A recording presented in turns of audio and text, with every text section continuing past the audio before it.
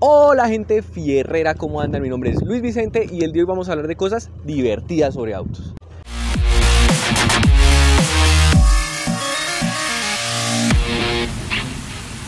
El día de hoy les vengo a exponer este bello, hermoso y fierro Ford Fiesta ST en Stage 2.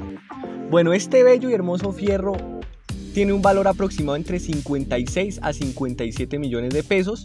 En dólares, aquí abajo se los dejo el precio. Se empezó a producir en Estados Unidos desde el año 2014, sin embargo aquí a este país llegó en 2017 y se produjo hasta 2018, por eso solamente hay una, aproximadamente unas 200 unidades. Bueno, este es un auto hecho en Estados Unidos y ensamblado en México, al igual que el Focus RS y el Focus ST. Bueno, este es un motor EcoBoost de 1600 centímetros cúbicos pero turbocargado. Con esto genera 197 caballos de fuerza al, al volante. A la rueda genera unos 192 y de torque genera 24.3 kilogramos que los genera al que los logra las 3700 revoluciones por minuto. Ahí cabe destacar que es, una, es un óptimo de torque un poco eh, alto, lo tiene arriba pues para hacer un carro turbocargado. Sin embargo, pues responde muy bien a ese, en ese margen de revoluciones. Sin embargo, este motor tiene modificaciones que son intake de la marca COP, downpipe sin catalizador de fabricación nacional, soporte central de motor marca Watch y Access Sport marca COP que permite cambiar mapas en tiempo real. Se, compraron mapas especiales con un túnel extranjero que logran sacar hasta 250 caballos de potencia de forma electrónica eh, y eh, hasta 45 kilogramos de torque. Este carro en particular tiene una caja manual de 6 velocidades hacia adelante con unos cambios bien relacionados cortos y bueno, automáticos no llegaron a Latinoamérica, solamente se produjeron los primeros años en Estados Unidos. Este carro trae 7 airbags, control de estabilidad, control de torque en las ruedas por si uno para no perder el control del auto en una curva o algo así.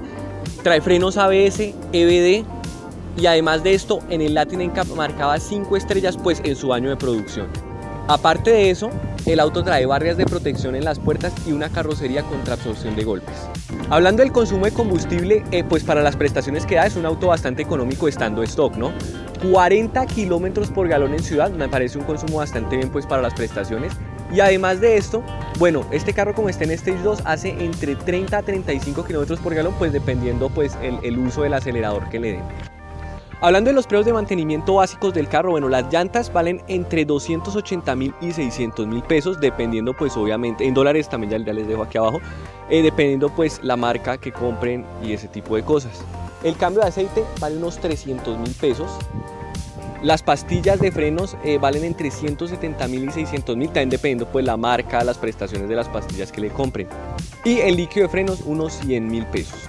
Hablando de la suspensión, trae una estructura de suspensión delantera tipo MacPherson eh, de muelle de resorte helicoidal.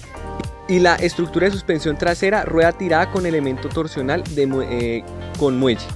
Hablando de los frenos, trae freno de disco en las cuatro ruedas, adelante ventilados y atrás disco sólido. Hablando del maletero, viene de 200 litros de capacidad, aunque abatiendo las sillas traseras puede llegar a 974 litros de capacidad. En la parte delantera tiene sillas recaro originales de fábrica que abrazan al conductor y al pasajero. En cuanto al espacio atrás, pues bueno, como se pueden dar cuenta, una persona de un 80 eh, pues quedó, quedó bastante apenas, ¿no? Miren, como dan cuenta, las rodillas me quedan aquí casi metidas en el asiento de adelante. Y atrás, pues miren, a duras penas alcanza, pero apenas llevo a pisar un hueco y me escalabro aquí. Entonces, pues realmente eh, no, no, no tiene mucho espacio atrás. Y otra cosa, aunque yo soy una persona delgada, mido un 80, peso 70 kilos, eh, miren que tres, tres no caben acá, solamente caberían dos. ¿Listo? Entonces, pues atrás sí en espacio sí se raja un poco. En lo que se refiere a la reventa es un vehículo no muy comercial, pues es más para conocedores que saben exactamente lo que buscan bajo el capó. En cuanto a la calidad de los materiales, pues son calidades, es una calidad de nivel intermedio. Las sillas son de cuero y tela, alternan entre cuero y tela. Pero los plásticos del Millaré son un poco duros. De hecho, aquí es bastante duro, parece un carro de 30 millones de pesos, pues nuevo, ¿no? La conectividad es espectacular, tiene su pantalla, en esto también tiene computadora a bordo, el aire acondicionado es automático. Bueno, aquí tiene todos sus, sus comandos, también su información de errores. Eh, bueno, tiene un tablero pues bastante bonito pues a mi, a mi parecer. Eh, no trae llave encendido, sino que pues es con botón. Y bueno, como se pueden dar cuenta, es un carro bastante bello en su interior, aunque pues tiene algunos plásticos duros en las puertas. Y bueno, fierreros y fierreras, eso sería todo por el video de hoy. Comenten aquí abajo qué les pareció este carro. En otros datos así adicionales, un carro de estos stock en el cuarto de milla está entre 15 y 16 segundos. Sin embargo, en este, este, este carro, en Stage 2, no se ha probado. Se estima que podrían ser unos 14 segundos o 15 bajitos, pero no se ha probado. A la altura de Bogotá, en bueno, casi eh, entonces pues, no sabemos todavía. Miren, en los próximos videos lo sabremos. Nos vemos en un próximo video. ¡Chao!